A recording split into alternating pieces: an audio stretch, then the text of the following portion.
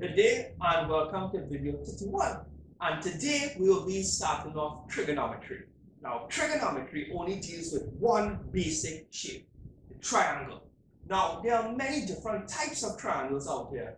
I'll just call a few. Um, right angle triangles, isosceles triangles, um, scalene triangles, acute angle triangles, just to name a few. Now, when I am teaching trigonometry, I'm going to divide triangles into two groups, right angle triangles and non-right angle triangles. When you're learning trigonometry, you're going to realize right angle triangles, and it's really easy to, to spot a right angle triangle. It has about 90 degrees in it, right?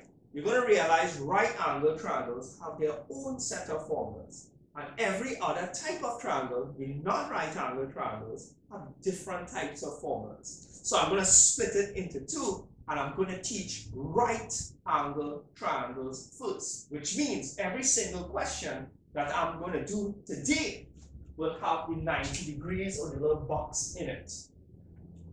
There are quite a few things you need to know about right angle triangles, but I'm going to start off with our first theorem, or first type of equation, and that's Pythagoras theorem. You may have heard of it in school already.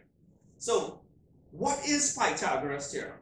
First of all, Pythagoras theorem only deals with right angle triangles, and the examiner has to give you the length of two sides, and your job is to find the missing side. Now, in the corners here, you will see two formulas, a pink one and a blue one. Both of them are Pythagoras theorem, and you notice the formulas look slightly different. This one has an addition sign underneath the square root, and this one has a minus sign underneath the square root. And you'll see the letter H in both of them. The letter H stands for the hypotenuse. What is the hypotenuse? The hypotenuse is the longest side of a right angle triangle. Now, there are more than one ways to spot the hypotenuse. For example, in this question, this here is the hypotenuse because this is the longest side of a right angle triangle. However, I do not choose that way to pinpoint who is the hypotenuse. The better way to pinpoint the hypotenuse is to look for the right angle and then look for the side opposite the right angle. So if this is my right angle, the side opposite my right angle is this guy. So this is my hypotenuse. Now in both formulas, you'll see the letters RS. RS just stands for regular side, meaning that in a right angle triangle, I always consider the hypotenuse to be very important It's the most spectacular part of a right angle triangle, the hypotenuse. And the two other sides, I just refer to them as regular sides. They are not as important as the hypotenuse. So, all right angle triangles will have one hypotenuse and two other sides, which I just call regular sides. Now, when you're using Pythagoras theorem, remember, you're trying to find a missing side, but the examiner has to give you the length of at least how much side? Well, he has to give the length of exactly two sides. If you are trying to find the length of the hypotenuse, you use the blue, sorry, the pink formula. If you are trying to find the length of a regular side, you use the blue formula. And I'm going to show you three, well, hopefully I'll have time to do more than three examples here to show you when to use the pink one and when to use the blue one. But a few other things before I, I jump into that. First of all, whenever you have any triangle in the world, you will notice that the examiner will put capital letters to the corners. Capital letters represent angles, and corners, well, the angles are any corner. So this is angle A, angle C, and angle B. Angle B is my right angle, or my 90 degrees. You are only allowed to use capital letters for the corners. So what about the sides? The name of this side will be named common B. Why? Because it's opposite angle B. So the name of this side is common B. When you are naming sides, you're only allowed to use common letters. You cannot use capital letters. What's the name of this side? Here's angle A. So here will be common A because this side is opposite angle A. And of course, I guess you figured out by now, this side is common C because it's opposite capital C. Right. In this question, let's identify who's the hypotenuse. Well, remember I said the side opposite the right angle is the hypotenuse. So I'm just going to put that H here to remind myself, hey, this side is the hypotenuse. The two other sides are just regular sides. So common A is RS or regular side, and here A to B is also a regular side. So let's try to figure out what we are trying to find in this question. Well, we are trying to find the length of this side because they gave us the length of two sides and the only side that is missing is the hypotenuse. So if we are trying to find the length of the hypotenuse, we have to use the pink formula. So the pink formula, I know I have it up here, but I'm going to write it. Right. Hypotenuse is equal to the square root of regular side plus the other regular side square. Now, in the exam, you cannot write this. This is something I came up with, right? Now, the reason I came up with this is because this is easier to understand. In the exam, you are trying to find the length of the hypotenuse. Now, the hypotenuse has a particular name, and the regular sides have a particular name. Anytime you're trying to find the hypotenuse, you have to use the one with the positive sign. And you notice there's a big square root sign here. Keep in mind, you always press the square root sign last. Now I'm telling you, I'm going to say it over and over and over until it becomes really annoying because it's really important. Because students will see a big square root sign here and they will press the square root sign first on their calculator thinking that's the right thing to do. It's wrong. You press the square root sign last. So let me show you what to actually write in the exam to get full marks. First of all, we are trying to find the length of the hypotenuse. What's the length, what's the name of the hypotenuse? Isn't this the hypotenuse? Doesn't he have an official name? His name is common B. Square root. What are the length of the two other sides? Well, what are the name of the other sides? The other regular sides. Isn't here a regular side? It doesn't matter who you look at first. Like you look at the 12 first or the 16. Doesn't matter. Let's look at him first. What's the name of the first regular side? His name is common A. So you put A squared. Plus, what's the name of the other regular side? C. So you put C squared. So this is the formula you need to write in the exam. Now it's time to work it out. Let's substitute in our values. Remember, we are trying to find B. Common A is 12, so we put 12 squared plus 16 squared, because common C is 16. And all we have to do is work this out on our, on our calculator. Be careful. We're going to work out this piece first. 12 squared plus 16 squared. After you get your answer, then square it. So let's work it out together. 12 squared plus 16 squared. When I work out 12 squared plus 16 squared, I get 400.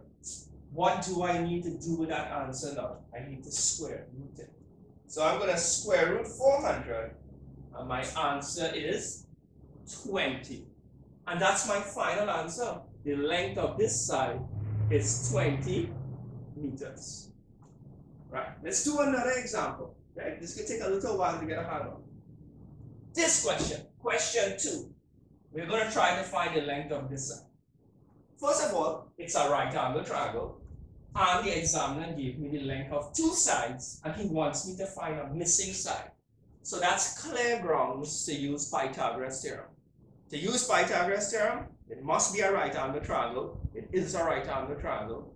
They have to give us the length of two sides. We have the length of two sides, and they want us to find a missing side. So let's figure out who is the hypotenuse and who are the regular sides. Well, we should put in our common letters first. If here's capital P, then the side opposite will be common P. If here's capital R, this side is common R. If here's capital Q, over here is common Q. So it seems they want us to find the length of common Q. But let's figure out who's the hypotenuse. Here, we have the right angle, and the side opposite the right angle is the hypotenuse. So we have the length of the hypotenuse.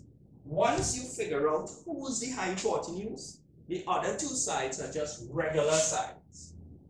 Because the hypotenuse is the star of the show. He is the most important. So once you figure out who's the hypotenuse, the other two sides are just regular sides. So what's the aim of this question? Do they want us to find the length of the hypotenuse or do they want us to find the length of a regular side? It seems to me that the question mark is here and they want us to find the length of a regular side. So which formula do we use? Pink one or the blue one? The blue one is to find the length of a regular side and that's the one with the minus sign. The hypotenuse, whenever you're trying to find the hypotenuse, that's the one with the addition sign. If you want to find the length of a regular side, you use the one with the minus sign. So let me write back this formula here regular side is equal to the square root. Now, when you're using that formula, the hypotenuse must come first underneath the square root.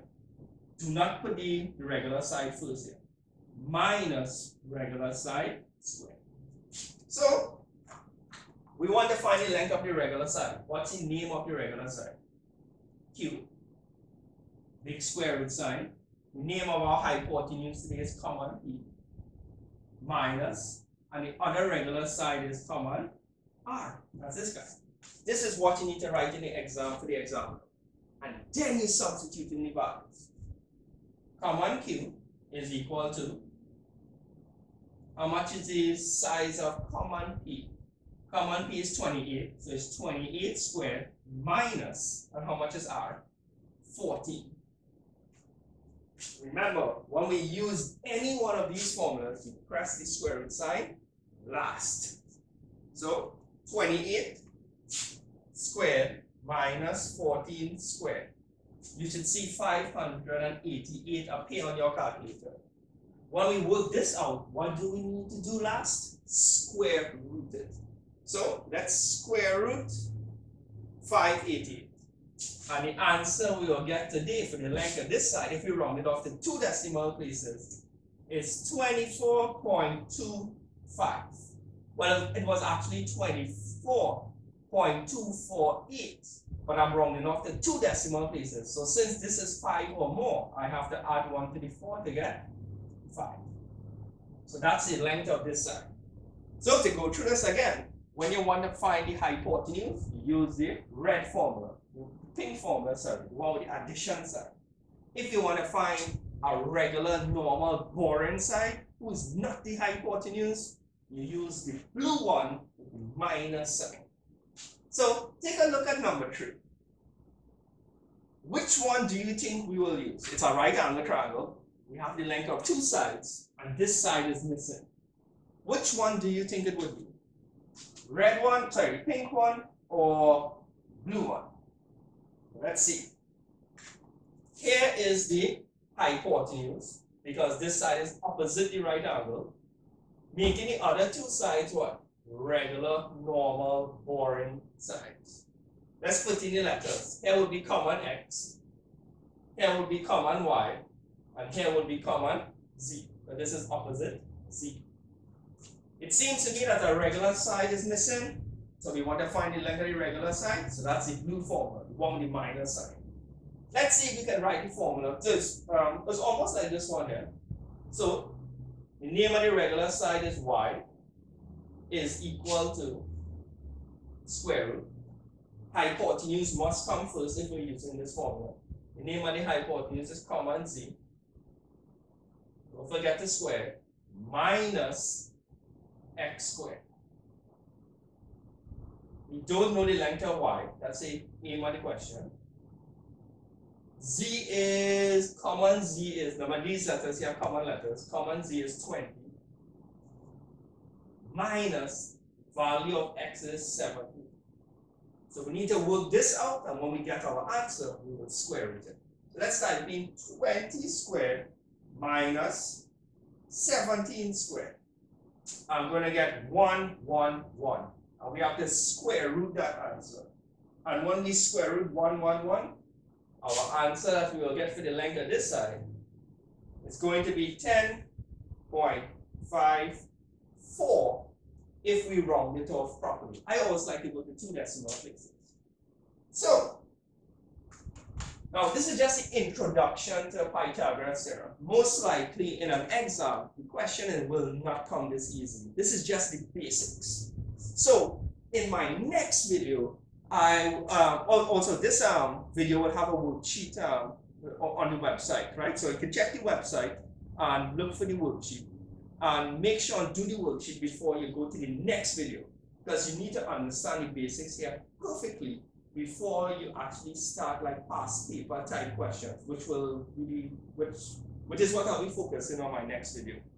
So um, I really hope you enjoyed the video. Uh, make sure to do the worksheet. And of course, if you're from Trinidad and Tobago and you're interested in extra lessons for any subject, check the website below for details. Have a good day.